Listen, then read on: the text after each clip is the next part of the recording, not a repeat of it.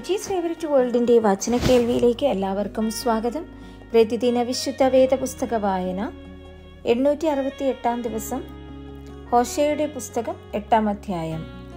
അവരെന്റെ നിയമത്തെ ലംഘിച്ചു എന്റെ ന്യായപ്രമാണത്തിന് വിരോധമായി അതിക്രമം ചെയ്തതുകൊണ്ട് കാഹളം വായിൽ വയ്ക്കുക. കഴുകനെ പോലെ യഹോവയുടെ ആലയത്തിന്മേൽ ചാടി വീഴുക.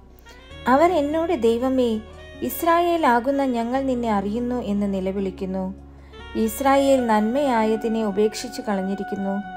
ശത്രു അവനെ പിന്തുടരട്ടെ. അവർ രാജാക്കന്മാരെ വാഴിച്ചു. ഞാൻ മുഖാന്തരം അല്ല താനും. ഞാൻ അറിയാതെ പ്രഭുക്കന്മാരെ അവർ നിയമിച്ചിരിക്കുന്നു. അവർ ഛേദിക്കപ്പെടേണ്ടതിന് വെള്ളി കൊണ്ടും പൊന്നുകൊണ്ടും തങ്ങൾക്ക് വിഗ്രഹങ്ങളെ ഉണ്ടാക്കി.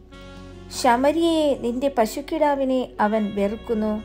എന്റെ കോപം അവരുടെ നേരെ ജ്വലിക്കുന്നു. അവർക്ക് കുറ്റമില്ലായ്മ എത്രത്തോളം അസാധ്യമായിരിക്കും? ഇത് ഇസ്രായേലിന്റെ പണി തന്നെ.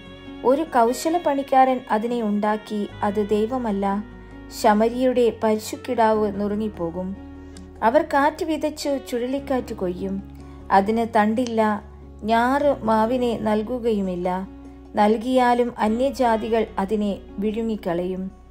ഇസ്രായേലിനെ വിഴുങ്ങിപ്പോയി അവർ ഇപ്പോൾ ജാതികളുടെ ഇടയിൽ ഇഷ്ടമില്ലാത്ത ഒരു പാത്രം പോലെ ഇരിക്കുന്നു. അവർ തനിച്ചു നടക്കുന്ന കാട്ടുകഴുത പോലെ അശൂരിലേക്ക് പോയി എഫ്രയീം ജാരന്മാരെ കൂലിക്ക് വാങ്ങിയിരിക്കുന്നു.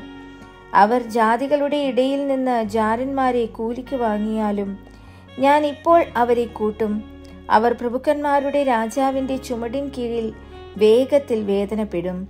എഫ്രയീം പാപപരിഹാരത്തിനായി അനേകം യാഗപീഠങ്ങളെ ഉണ്ടാക്കിയതുകൊണ്ട് യാഗപീഠങ്ങൾ അവന് പാപഹേതുവായി തീർന്നിരിക്കുന്നു. ഞാൻ എന്റെ ന്യായപ്രമാണം അവന് പതിനായിരം കൽപ്പനയായി എഴുതിക്കൊടുത്താലും അവ അപൂർവ കാര്യമായി എണ്ണപ്പെടുന്നു.